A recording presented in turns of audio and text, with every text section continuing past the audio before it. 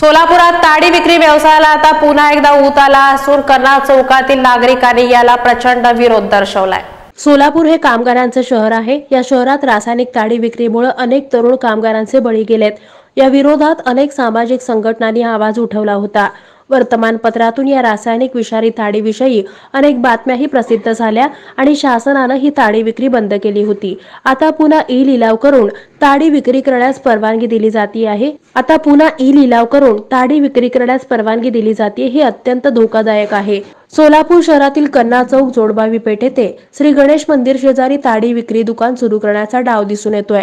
हा परिसर रहिवासी असून कनिष्ठ आणि निम्न मध्यमवर्गीय कुटुंब या भागात वास्तव्यास आहेत.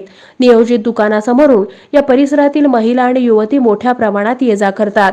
विशेष म्हणजे या रस्त्यावरून भवानी पेठ घोंगडे वस्ती जोडभावी पेठ भागातील विद्यार्थिनींचा सौ भूम पुल्ली कन्या प्रशाला बुर्ला महिला वरिष्ठ महाविद्यालय नीलकंठेश्वर प्रशाला या ठिकाणी शिक्षण घेण्यासाठी येण्या जाण्याचा मार्ग आहे. या रस्त्याचा परिसर हा पूर्णतः रहिवासी क्षेत्रातला आहे. त्यामुळे ये जा करण्यास सुरक्षित आहे. विशेष म्हणजे जिथं ताडी दुकान सुरू केले जाणार आहे त्या जागेच्या लगतच काही पावलांच्या अंतरावर श्री गणेश मंदिर आणि मड्डेमपेठ मरियाईचं मंदिर आहे. या ठिकाणी भाविक हे नेहमी दर्शनासाठी येतात.